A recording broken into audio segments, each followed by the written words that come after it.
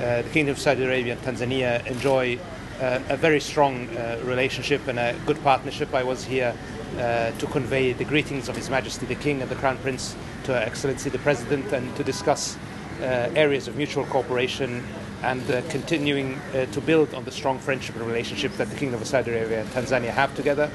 We explored all areas, both political cooperation, developmental cooperation, and also uh, areas of investment and potential growth in the relationship.